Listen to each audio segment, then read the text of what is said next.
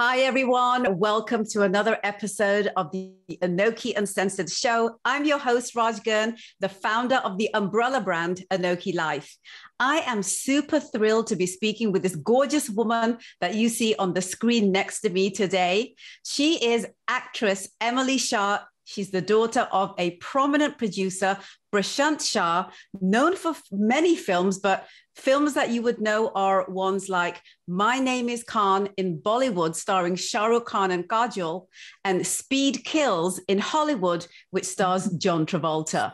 Before we say hello, I want to tell you a little bit about why I'm speaking to Emily today.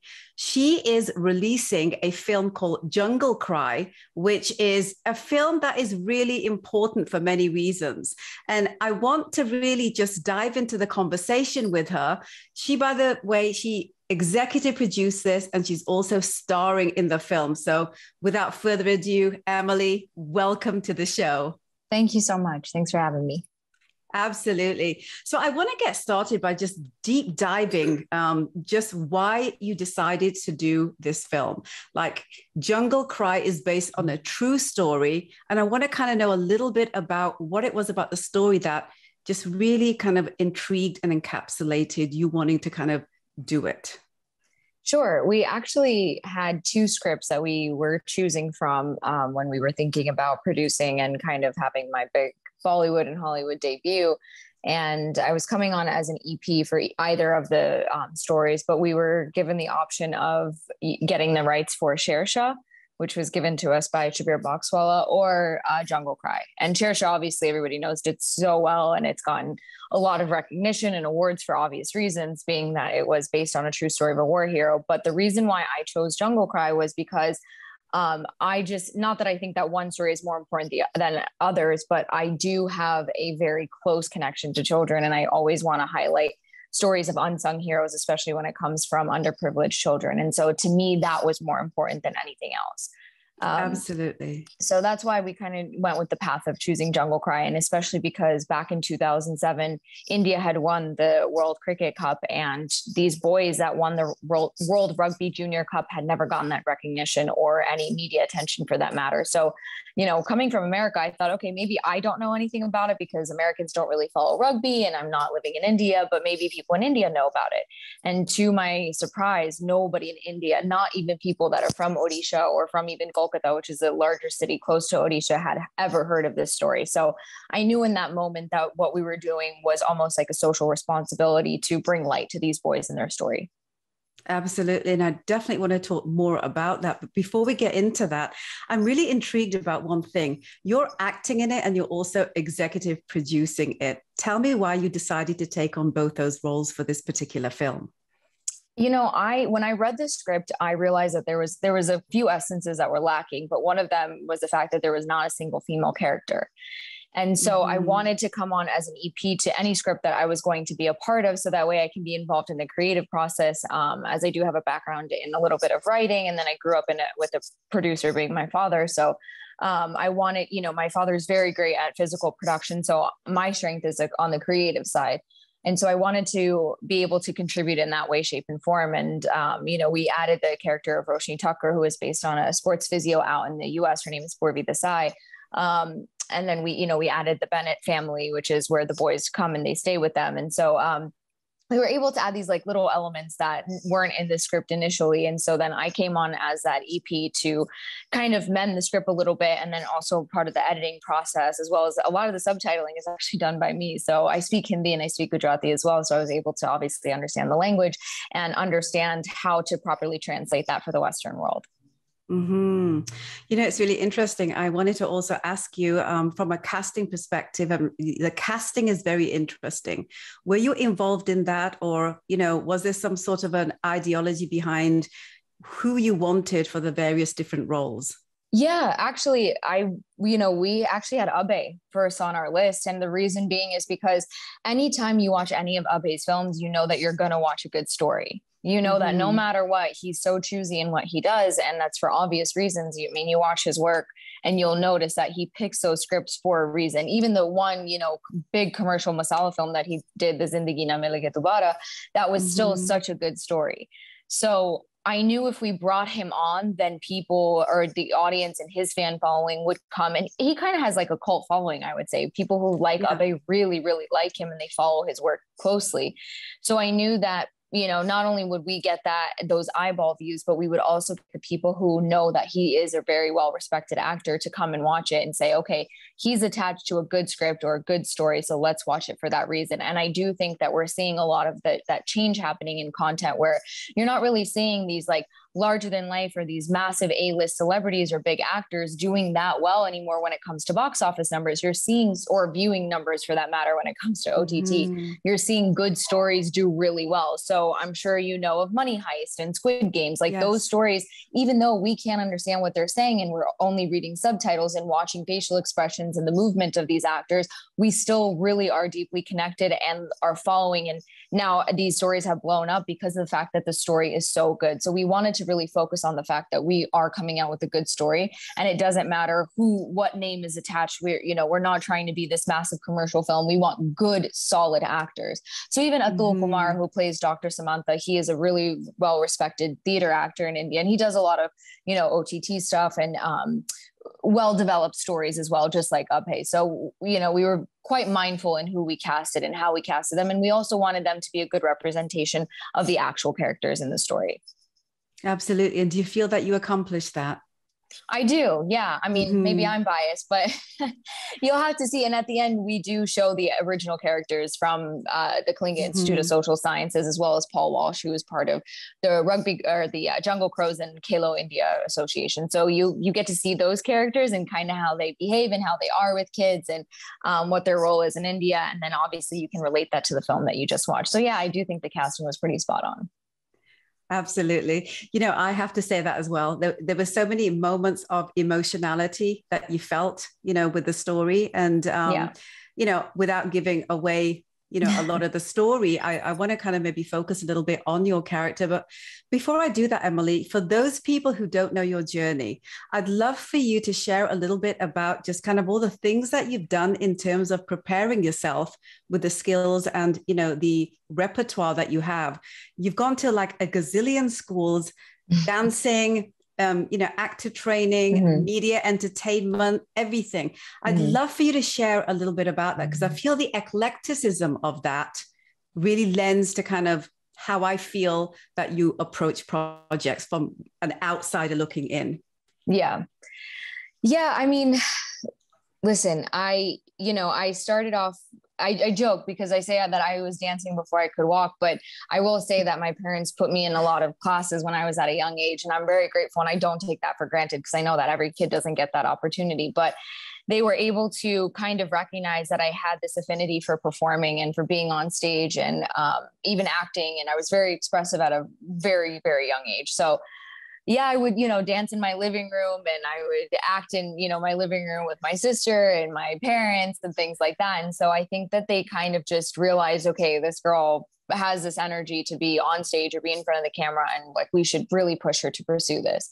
So they put me in acting classes or you know uh, dance classes first and then when i could actually talk properly they put me in acting classes. And one summer they dropped me and my sister off to india in juhu beach and we were training with madhumati for the entire summer in bollywood dancing and acting and kind of just you know i fell in love with the whole idea of being part of bollywood but also just acting Mm-hmm. And then mm-hmm. every single summer after that, they put me in Lee Strasberg Acting School between Los Angeles and New York. Um, you know, they invested a lot of obviously time and money into my career and my skills. And I think that it's because of them that I'm where I am today because I have all those tools in my toolbox from every single acting class and you know um, theater performance that i've ever done like i was part of a theater uh, performance group out of the east coast between new jersey and new york growing up from the age of i want to say about 7 to 18 um, I became a dance teacher as well. I was doing theater in school. Um, you know, I, I just really grew up with it. And then I obviously went to college because that, you know, you can't be Indian and not get a degree. So I went to college and I studied entertainment, media marketing,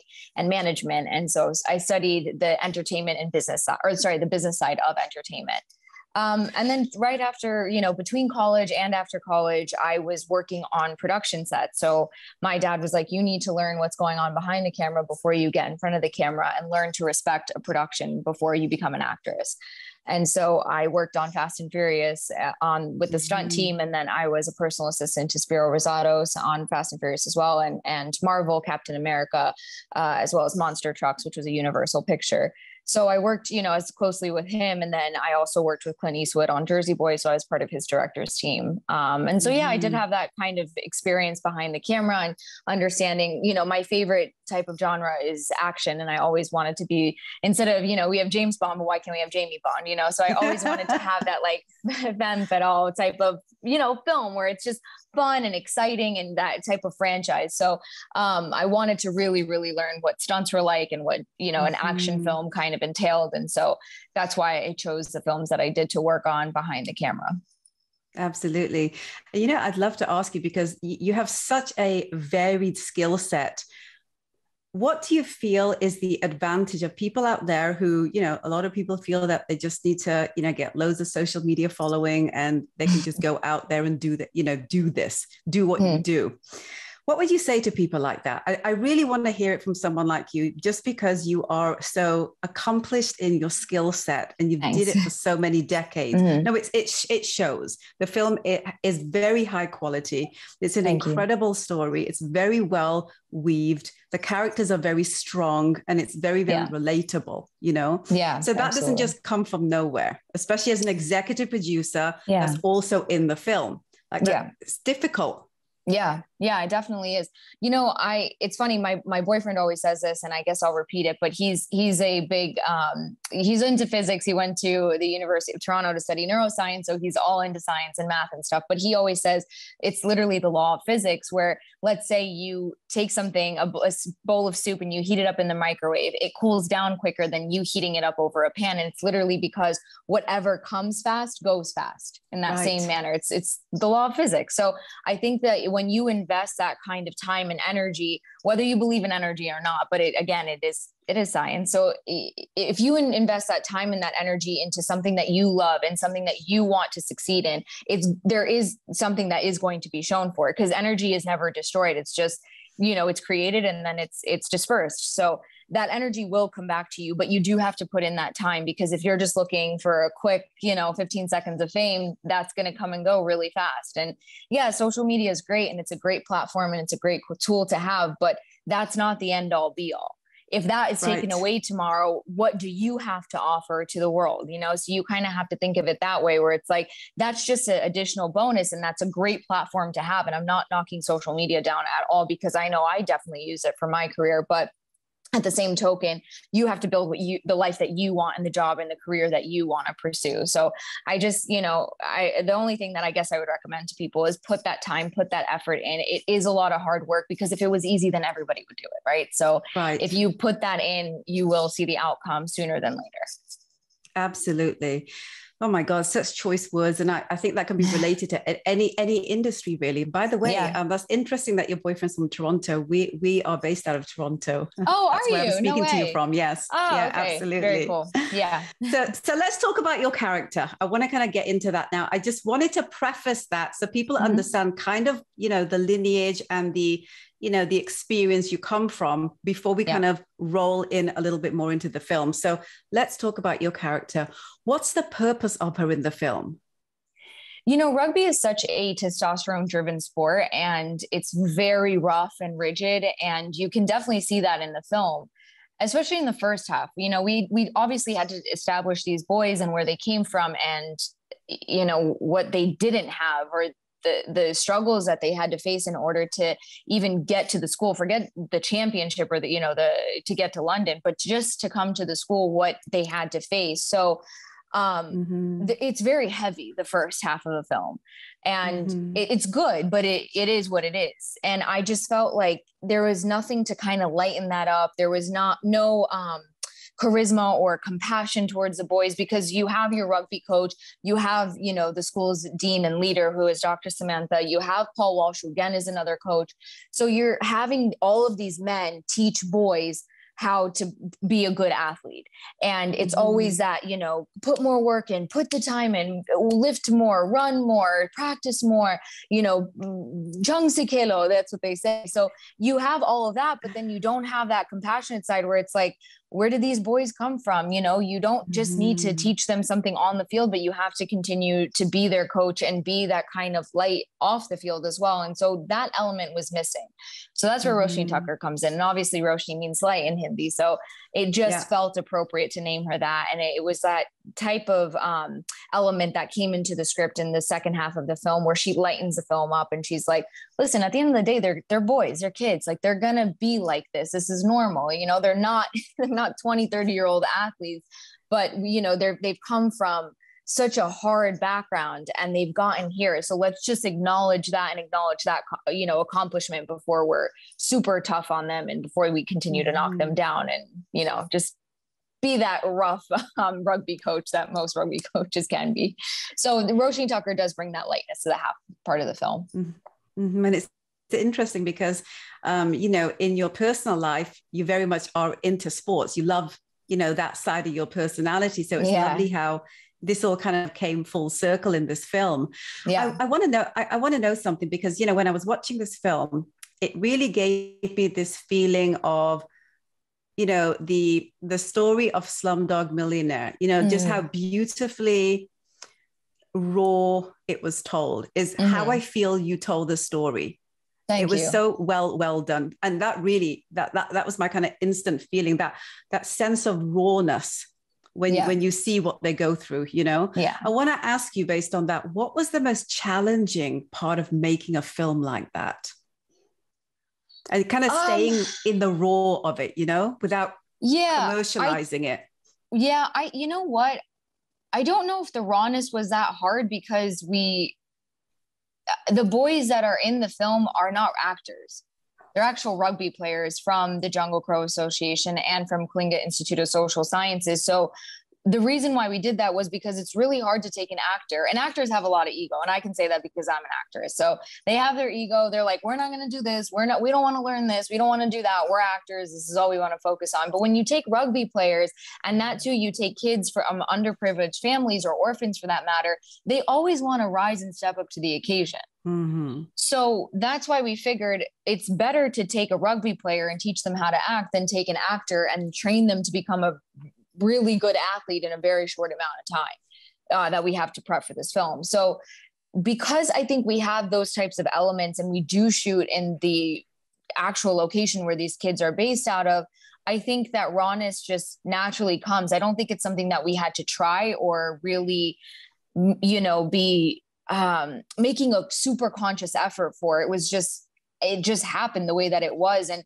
if you're recognizing it that way then that's great because i don't think we even went into it thinking oh we need to be raw or oh we need to show it like this this and this. We just wanted to tell their story at the end of the day. And if that comes across then hey that's a win for us. Absolutely and it really comes across. And it, it's the it's the rawness that uh, connects you to the reality of of people's yeah. existences right? And i feel like you really did that well. Thank you. you talked about this um, a little bit earlier but i wanted to kind of maybe deep dive it a little bit mm-hmm. with you emily. There's a larger message with the film it's yeah. you know it's it you know my sense was that it's positioned to create more awareness for the plight and the struggles of the orissa education system and the underprivileged you know kind of plight of the child population can you share a little bit more about that like am i am i right where i'm saying that or is there something you want to you know maybe add to that because that's yeah. the sense i got with the film like people who didn't know now right. will know you know? Yeah i mean i think there's it's more than just about the kids in odisha or in kolkata. I think it's kids throughout india or any underprivileged location or area in the world. Mm-hmm. and that that's in america too. I'm not just saying third world countries you know what i mean? And i think that when you do give children a sense of community and belonging um, whether that's in sports or education or hobbies or whatever the case may be I think you kind of set them up for success in that way. And I, mm-hmm. I use this um, this kind of similarity where I say if you take a seed and you plant it in a small pot, it's only going to sm- grow to be a small plant. But if you take it and put it in a big pot, it'll grow to be a very big plant. And mm-hmm. I believe that's the same thing with the kids, because if you take a child and you give them that platform that they should be able to rise up to the occasion to i mean any kid is is the same you know they they mm-hmm. can do whatever they want they their world is their oyster it's just the circumstances that they were grown up in and, and it could have been me it, I could have been one of those of children course. in India. Any, you know, any one of my friends could have been that. I was lucky mm-hmm. enough to mm-hmm. have parents that, you know, my dad who migrated to America, and I was able to live the American dream and grow up so privileged compare in comparison to these boys that are part of the film. So I think at the end of the day, it's not just about those kids in Odisha; it's about kids anywhere in the world. Right. And I think the the bigger message here is that you know what we're trying to do is eradicate poverty through sports and education. I love it it's just incredible. It's it's quite innovative. Yeah, it's quite innovative in the way that you're doing this. And I want to ask you this: uh-huh. if people don't if people don't get it already, why should people watch the film? um, well, I will say this because at the end of the day they're i call them corporations because that's what they are but these big studios they watch numbers and whether that's streaming numbers or whether that's box office numbers they watch them and obviously the more successful something is the more they're going to create content like that which is why we're seeing so many remakes happen and why we're seeing franchise films do 10 15 versions of the same exact film whether it's fast and furious and i'm not knocking it down because i worked on those sets but whether it's mm-hmm. fast and furious or your marvel type of superhero films they're going to continue to make those types of films because that's what the audience audience is going to watch and that's what they're supporting, which rightfully mm-hmm. so, no problem at all. But on the same token, when they see films like this, these true stories mm-hmm. of unsung heroes do well, and they see that the numbers are rising, whether that's in box office numbers or streaming numbers and viewership, they're going to continue to make these kinds of films. And so it's really important for people to support the film and to go and watch it. Like, you know, we release in America today and, and Canada and the UK. And people keep asking me, when can I watch it on streaming? And I'm like, don't ask me that because it's in theaters. Go watch it in theaters today. Go support right. it this weekend, next week, whenever you can, go support it in theaters because that's what matters is getting that viewership and, and seeing that, okay, films like this can do well and we should continue to make stories that are important like these because these unsung heroes deserve it more than anybody else, more than these larger than life franchise films. They deserve it. So Absolutely. that's why you should go watch Jungle Cry in theaters today. Absolutely. I love that. Great, great answer. What do you Thank think you. people, what do you feel, Emily, people will get out of watching this film? Like, you know, people that have already watched it, um, what, what, what are they saying about the film that maybe you um, didn't think would be the response? I, they're saying what I'm saying at that after they watch it, they're like, yeah, I don't know why more films like this don't get theatrical release and don't get this recognition. And my response is exactly that. It's like because people want to watch your really large films with a lot of VFX and all this stuff, and they don't want to watch these types of films in theaters. They're waiting for it to come on streaming platforms or they, for them to buy it on VOD. Um, so yeah, that's just kind of, you know, they're seeing eye to eye with what I'm saying. Mm-hmm. And they're seeing the importance of why films like this matter.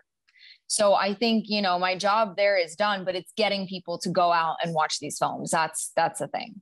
Absolutely. And what's the website, um, Emily, for people to go hop on and see where it's playing in their city or, or wherever they may be?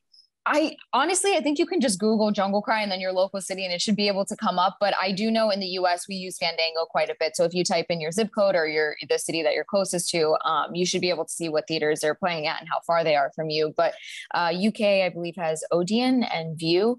And then um, uh, Canada is is Cineplex, if I'm not mistaken. So if you go on their websites, you can check it out. But yeah, just simply Google your closest metro city, Jungle Cry, and you, they should be able to tell you exactly where it's playing.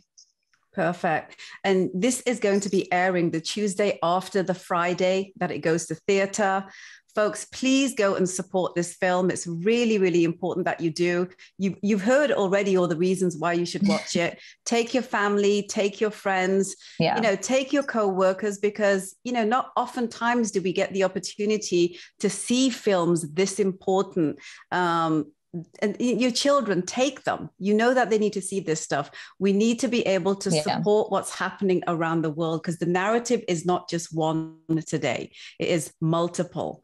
Emily you're such a pleasure. I really enjoyed Thank chatting you so with much. you absolutely. Before i let you go i just want to ask you as you move into your future uh-huh. and you look at your career based on all the experiences that you've had and, and you think about you know the fact that you know there's there's a cultural element to to our identities. There's the gender um, element. There's the socio-economic element. There's mm-hmm. the experiences of you know our generations our families as well as those that we're having and the people around us. Yeah. What, what would you say people should look at with all this stuff that we're that is going on right now with everybody? You know like we're mm-hmm. we're, we're we're told that all of these things need to matter so it becomes even more difficult to figure out who you are than it used to be, even mm-hmm. though we do need to have this dialogue. What would you say to people out there, you know, especially as a storyteller, which is essentially what you are, right? What would you say to them to be able to find their purpose driven life the way that you have? I think you've got to um, especially in our Desi community, you know, we do mm-hmm. a lot of things for our parents or for our loved ones. But at the end of the day, you have to sleep with yourself and you have to wake up with yourself. Um, and I think you've got to find something that genuinely makes you happy. Mm-hmm. And I know mm-hmm. it sounds cliche, but it's true. When you find something that you love doing, it doesn't feel like work. Like this mm-hmm. to me mm-hmm. isn't work because I'm talking about what I love and I want people to go watch this film and it's beyond me being an actress in it or me being an ep on it it's about the story of the boys so because I genuinely love what I do, it just never feels like work to me. And I never dread it. I never wake up thinking, oh, I have to go to set or oh, I have to do this interview for this film or anything like that. Um, so you've got to figure out what you love doing. And even mm-hmm. if it mm-hmm. means that your parents don't deem it as important or your loved ones don't see the see the profession that you want or the career that you want the way that you do doesn't diminish the fact that you love it. Mm-hmm. So I think mm-hmm. once you find that and you know you realize that okay this is what i love to do then that's all that matters to me mm-hmm, or to absolutely. you that's all that should matter to you at the end of the day absolutely anything that we've got to look forward to um, coming out of your world I know you that know, you have this fabulous gin. I can't even believe that yeah. someone created a gin based on kind of Ayurvedic philosophy. Like, what's yeah. that about? It's so yeah. fascinating yeah so i wanted i grew up you know eating indian food and my grandma always told me that indian botanicals and ingredients are like superfoods and we use them a lot as medicine to treat our body to treat our mind to treat our soul and so mm-hmm. i'm not i'm not claiming that alcohol is good for you or anything of that matter but what i'm saying is is that i really wanted to use high premium quality ingredients that come from my tradition and my background mm-hmm. and so i'm mm-hmm. using things like it does say mango in the back but it's really amchur so, which is a, a right. derived, you know, amchur is a green mango peel that Indians use in their cooking. It's got this like zesty taste to it. So people are like, oh, I taste orange. And I'm like, no, it's actually the mango because that's kind of what amchur tastes like. Um, yes. So we are using amchur. We use limda, which is curry leaves, Indian curry leaves. So it's way different than your regular bay leaf that most people use. Um, we use, you know, black cardamom, ginger, turmeric, rose. We use pounds and pounds of saffron, which makes us, again, another reason why we're such a high quality and premium uh, type of product. Mm-hmm. But I always mm-hmm. tell people that our gin is a gin for people who don't like gin. So mm. a lot of mm. gins taste very piney and they taste like a Christmas tree for that matter. And Dharma gin is very aromatic. There's it's not super florally like a perfume and it's not spicy and it's not, you know, overbearing or overpowering. It's just such a unique gin. And I tell people like I mean every single one of our customers that buy it, they're like, we can actually sip this neat. And I'm like, yeah, I know it's kind of dangerous. Um, but yeah, on the rocks or neat, it's, it's some of the best ways to enjoy it because it is so aromatic and it has so many different flavors and profiles. It's kind of like Indian cooking. There's so many layers to Indian cooking. You have like the sweet, the spicy, the salty, a little bit of that, you know, hing or that little bit of zest to it from the amchur. So it is a replica or uh, yeah, a replication of what Indian cooking is like or Indian food is like and traditions are like. So I just wanted to bring that to the Western world and bring it in a gin, which has never been done before. Oh my gosh. I don't even know what else to expect from you, sweetheart. It's been such a pleasure talking Thank to you. you so Cle- much. Clearly, you have the, the incredible entrepreneurial gene that as Indians all have, as South Asians all have. oh, really yeah, for the, sure. I wish you the best of luck. Honestly, I feel there's going to be a lot of wonderful things that are going to come out of your world. Where can people go on social to hang out with you, sweetheart, before I let you go? Yeah, sure. You can go to Emily Shah Official on Instagram or Real M Shah on Twitter. So that's where I hang Wonderful. out the most. More active on Instagram. So yeah, send me, you know, comments. I read my comments. I'm pretty active on it, especially right now. I'm trying to answer people that have questions about Jungle Cry or fans or anything like that. And if you go and take your kids to watch Jungle Cry, message me and I will send your kid a video. Oh my God. That is the coolest thing ever. You heard it right here on the Anokhi Uncensored show, guys. Go check out the film Jungle Cry wherever you are. It's a really important that you do. And, you know, like share it tell everyone tell everyone about the film one two three football coach हूँ मैं मेरे साथ चलोगे क्या sir मेरे पास जूता भी नहीं है स्कूल में एडमिशन लोगे वहाँ पे खाना मिलेगा खाना रहने के लिए घर सब I am here to teach you a new game, rugby. and we're going to make a team to play in the World Junior Rugby Championship. So you mean to say that you can train these kids for a world tournament in four months? They've never heard of rugby. They're not aware of this sport. How is that even possible? Catch.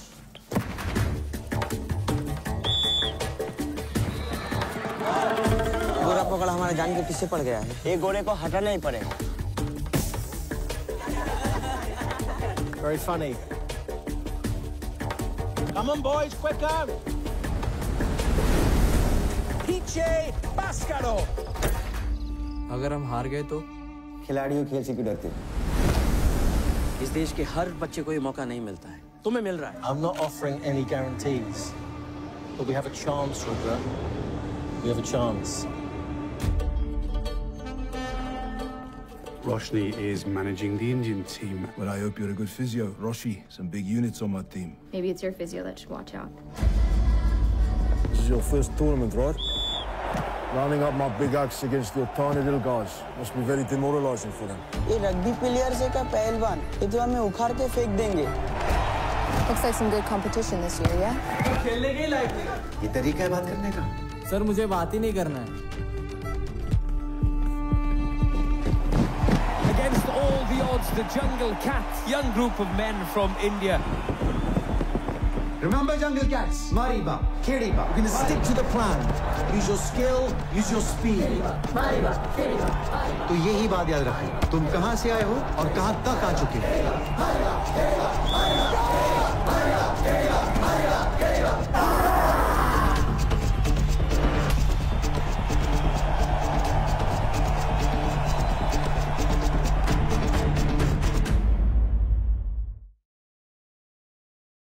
Sweetheart, I adore you. You are wonderful. Please come back Thank on. you. Thank you so much. For sure, I will. Thanks for having me. Absolutely. Absolutely. Thank you so much. And guys, Thanks. I'll see you next week.